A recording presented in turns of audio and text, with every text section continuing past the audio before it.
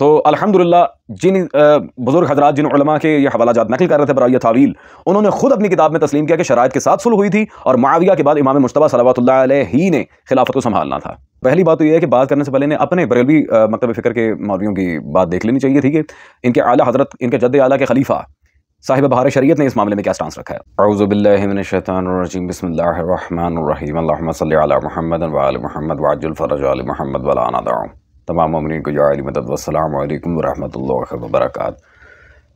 سامعین، جیسا کہ آپ سب جانتے ہیں کہ آج کل امام مشتبہ صلوات اللہ علیہ کے ایام شروع ہو چکے ہیں۔ تو ایک مختصر سی سیریز کا ہم نے انعقاد رکھا ہے برائے دفاع امام مشتبہ صلوات اللہ علیہ۔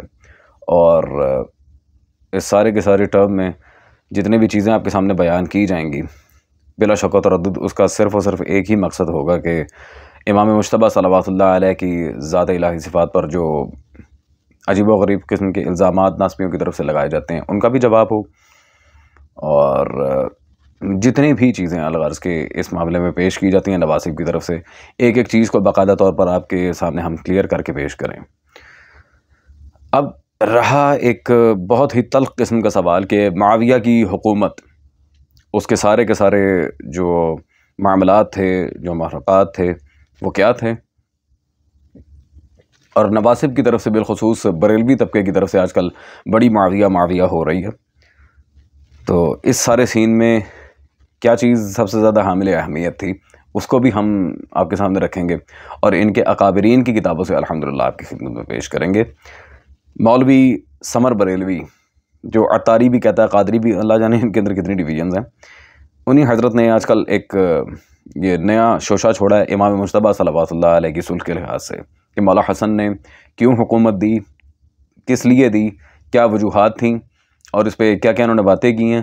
ایک ایک کر کے ان کے اس کلپ کے اندر جو جو سوال تھے مکتبہ اہل بیت کے اوپر ہم سب کا جواب آپ کی خدمت میں رکھیں گے۔ تو ڈائریکٹلی چلتے ہیں ان کے پہلے کلپ کی طرف کہ کیا معاملہ تھا۔ پھر انشاءاللہ تبارک و تعالیٰ آپ کی خدمت میں تفصیلاً ہم عرض کریں گے کہ اصل معاملہ تھا کیا اور انہوں نے بگاڑا کس طرح۔ نبی پاک صلی اللہ علیہ وآلہ وسلم نے جو خلافت راشدہ ہے اس کا دورانیہ بیان فرمایا کہ وہ تیس سال رہے گا۔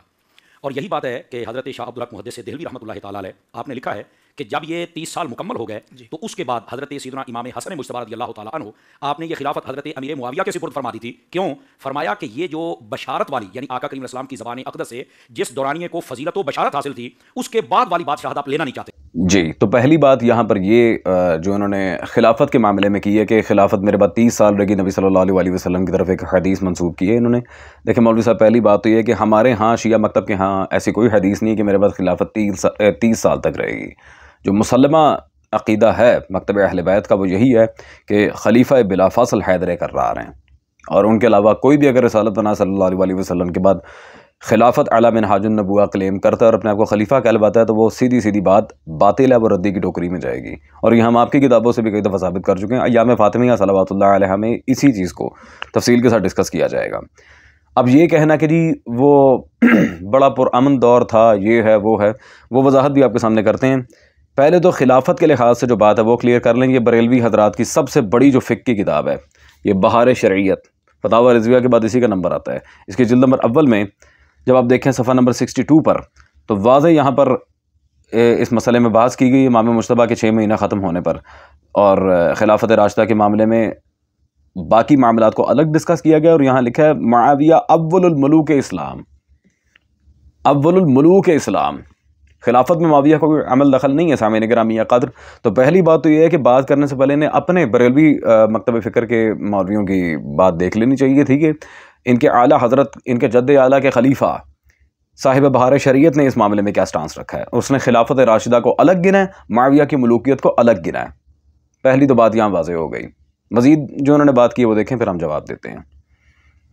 فرما اس کے بعد پھر بادشاہت آ جائے گی۔ اور وہاں پر لفظ عدود آ کے۔ یہ بہت سارے مختلف الفاظ حدیثوں میں بہت سارے الفاظ آتے ہیں۔ اچھا ان کا معنی بس اوقات لوگ کرتے ہیں کہ وہ کاٹ ڈالنے والی ہوگی۔ اب یہاں مفتی احمد یار خان نہیں رحمۃ اللہ تعالی، آپ نے یہ سوال اٹھایا کہ یہ جو بادشاہت کاٹ کھانے والی ہوگی، یہ لفظ کاٹ کو لے کر لوگ حضرت امیر معاویہ رضی اللہ تعالیٰ آپ کو نشانہ تان بناتے ہیں۔ آپ نے فرمایا، یہ بھی غلط بات ہے۔ کیوں؟ فرمایا کہ حضرت امام حسن مصطفیٰ رضی اللہ تعالیٰ آپ نے جب خلافت دے دی تو حضرت امام حسن اور امام حسین، ان دونوں بھائیوں کا جو دورانیہ تھا حضرت امیر معاویہ کے ساتھ، یہ بیس سالہ دور رفاقت کا۔ اور بیس سالوں میں اگر انہیں کوئی اعتراض نہیں، تو پھر کاٹ کھانے والا مسئلہ کر کہ حضرت امیر معاویہ کو نشان تان نہ بنایا جائے۔ دوسری بات یہ بسا اوقات کوانٹٹی نہیں دیکھی جاتی کوالٹی دیکھی جاتی ہے۔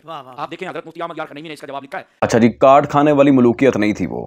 وہ جس بادشاہت کی بات ہو رہی تھی وہ اور تھی اور وہ کاٹ کھانے والی جو ملوکیت ہے ملکن اعظم کے جو الفاظ ہیں یہ دیگر کتب اہل سنت کے اندر جو کتب حدیث ہیں جیسے ابی داود وغیرہ تو اس سے یہ معنی مراد نہیں لیا جائے گا کہ جی وہ معاویہ کی حکومت ایسی تھی یا ایسی تھی یا ویسی تھی۔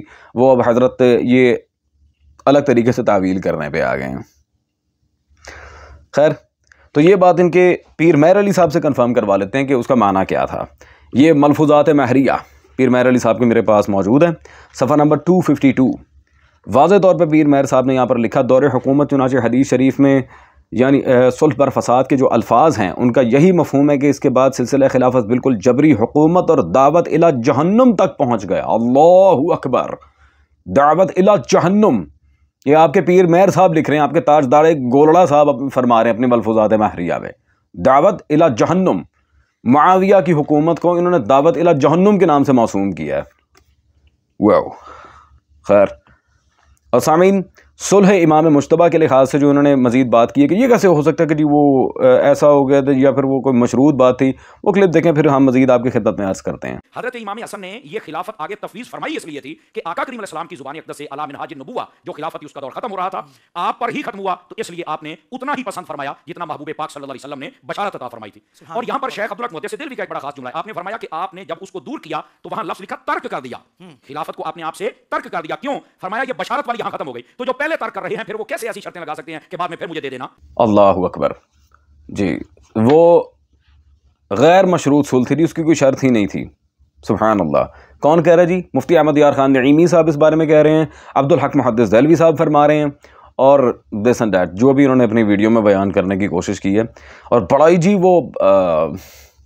کیا اسے کہتے ہیں پرامن دور تھا۔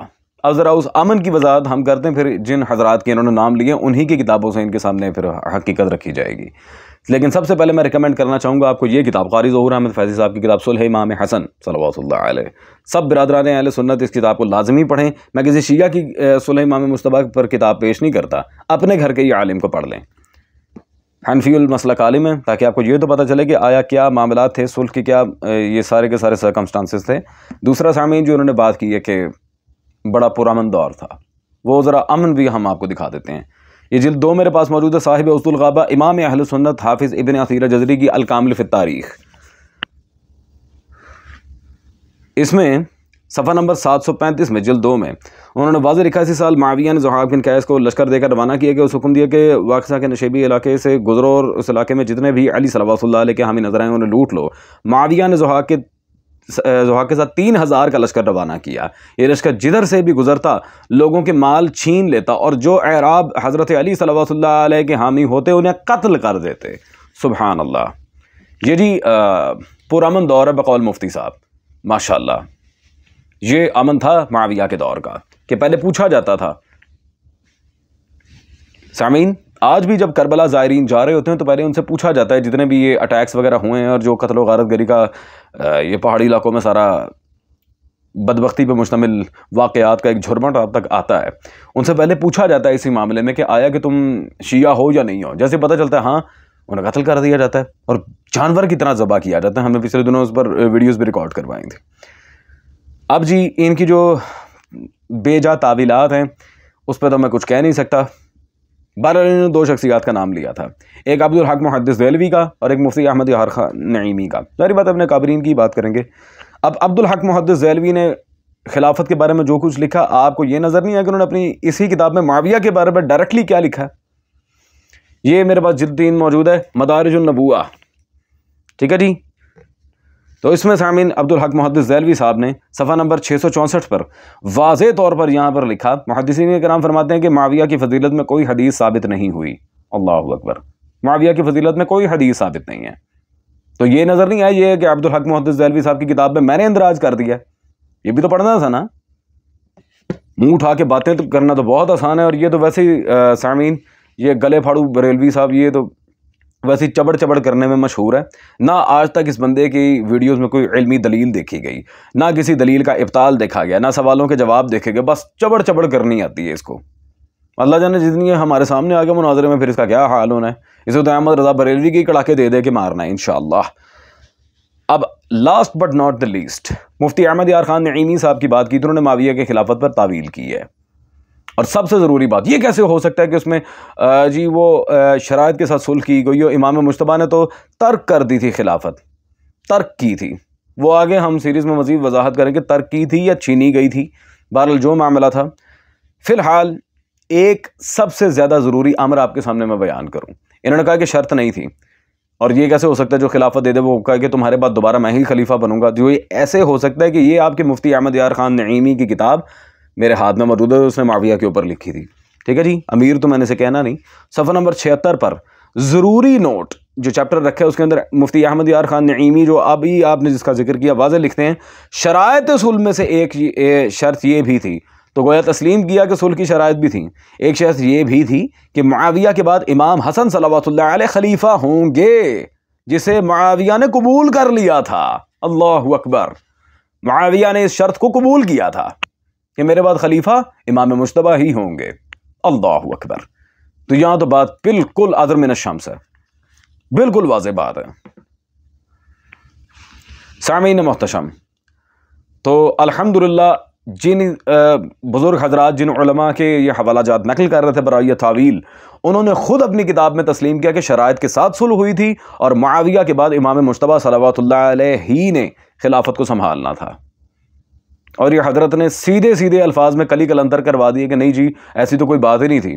اور بڑا جی پرامن دور تھا وہ، امن کا جو حال تھا، امن و سالمیت کا، وہ ہم آپ کو دکھا چکے ہیں کیا حال تھا امن کا۔ تو اب اس سے زیادہ وضاحت اس امر میں اور ہم کیا کر سکتے ہیں سامعین؟ خیر، فیصلہ ہماری سننے والی عوام کرے گی کہ جن علماء کی یہ دہائیاں دے رہے تھے، الحمدللہ انہوں نے اپنی کتاب میں پکڑ کے ان کے سارے کے سارے جھوٹ کو کلین بولڈ کیا ہے۔ خیر انشاءاللہ آپ کے سامنے حاضر ہوں گے نئی ویڈیو، نئے ایپیسوڈ کے ساتھ اسی امام مشتبہ سیریز کے صلی اللہ علیہ۔ Till then take great care of yourself all of you سب شیعہ سنی بھائی، سب کو سلام عرض کرتا ہوں۔ امام زمانہ صلی اللہ علیہ، سب کو ہدایت بخشیں۔